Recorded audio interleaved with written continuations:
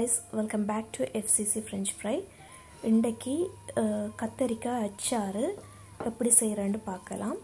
இது வந்து ஆதிகாலத்திலிருந்து மரக்கறிகள் மலிவான நேரங்களில் பல பேராலும் செய்து வைக்கப்பட்ட சாப்பாடு. ஆனால் இப்போ இது ஒரு ஃபங்க்ஷனல் ஃபுட்டாக இருக்குது. ஏதாவது ஃபங்க்ஷன் வந்தால் செய்கிற ஃபுட்டாக இருக்குது. ஸோ இந்த வீடியோவில் அது எப்படி செய்யணும்னு பார்க்கலாம்.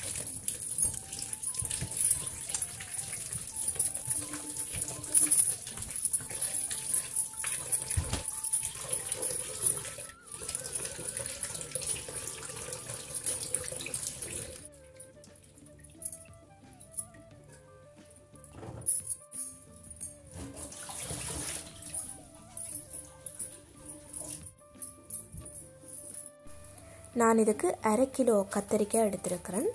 அதை சின்ன சின்ன கீழமாக வெட்டிட்டு அரை டீஸ்பூன் மஞ்சள் தூளும் கொஞ்சம் உப்பும் போட்டு இதை வைக்கணும். அந்த கயிறு அவ்வளவும் இறங்குறதுக்கு.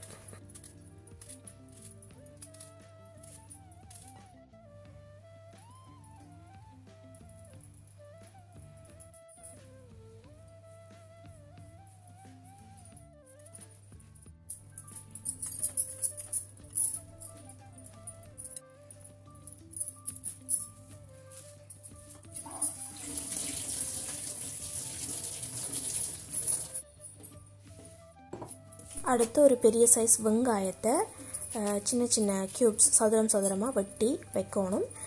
இதுக்கு சின்ன வெங்காயம் யூஸ் பண்ணால் இன்னும் டேஸ்ட்டாக இருக்கும். நான் பெரிய வெங்காயம் கிடைச்சபடி அதை யூஸ் பண்ணுவேன் அடுத்து இதுக்கு ஒரு மசாலா ஒன்று ரெடி பண்ணணும் அதுக்கு ஏழு காஞ்ச மிளகாயும் ஒரு டீஸ்பூன் கடுகும் போட்டு முதல்ல அரைச்செடுக்கணும்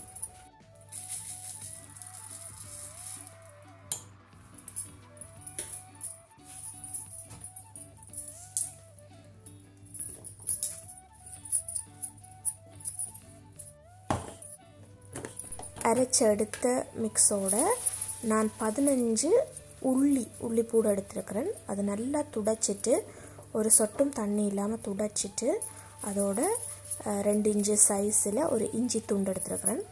அதையும் வெட்டி போட்டுட்டு தண்ணி சேர்க்காம கால் கப் விநாகிரி எடுத்துருக்கிறேன். அதில் மூன்று மேசக்கரண்டி மட்டும் விட்டு ஒரு பேஸ்ட் மாதிரி அரைச்செடுக்கணும்.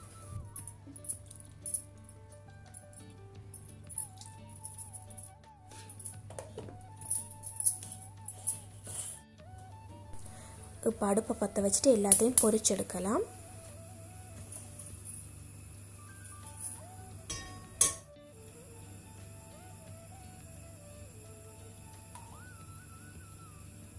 கத்திரிக்காய் பொரிக்கும் போது அதை நல்லா பிழிஞ்சு அதில் எந்த வித தண்ணியும் இல்லாமல் தான் அதை பொரிக்கணும்.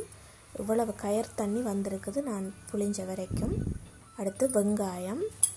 வெங்காயத்தையும் பொரிச்சிட்டு அதோடையே ஏழு பச்சை மிளகாயை கீறி போடுறேன். ரெண்டு கொத்து கருவேப்பிலையில். எல்லாத்தையும் நிறைய நேரம் பொரிக்கணும் இல்லை. கத்திரிக்காய் நல்லா பொரிக்கணும் மிச்சம் எல்லாம் கொஞ்சம் நேரம் பொரிஞ்சால் போதும். ஒரு நிமிஷம் ஒன்றரை நிமிஷம் பொரிச்சா போதும். இப்போ அச்சாறு செய்ய தொடங்கலாம். அடுப்பை பற்ற வச்சுட்டு ஒரு மேசக்கரண்டி ஒலிவ் ஆயில் நான் பயன்படுத்துகிறேன் நல்லெண்ணெய் பயன்படுத்தலாம். அதோட ஒரு இன்ச்சு பட்டை அதோட நாலு ஏலக்காய். லைட்டாக அது பொரிஞ்ச உடனே நாங்கள் அரைச்சி வச்ச பேஸ்ட்டை அப்படியே போட்டு அதை வதக்கி எடுக்கணும். ஒரு ரெண்டு நிமிஷம் வதங்கினா போதும். அதுக்கு பிறகு கால் கப் விநாகிரியில் மிச்சமுள்ள விநாகிரியை ஊற்றி கலந்து விடுவோம். அது கொஞ்சம் கொதிக்கணும்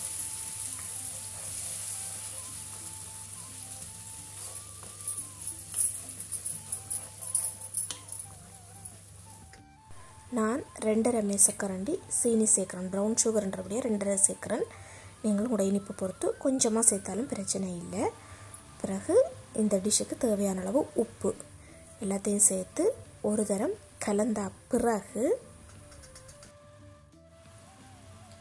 அடுப்பை நிப்பாட்டிட்டு பொரித்து வச்ச வெங்காயம் கத்திரிக்காய் எல்லாத்தையும் சேர்த்து சின்ன கரண்டியால் கலந்து விட்டால் சுவையான அச்சாறு தயார்.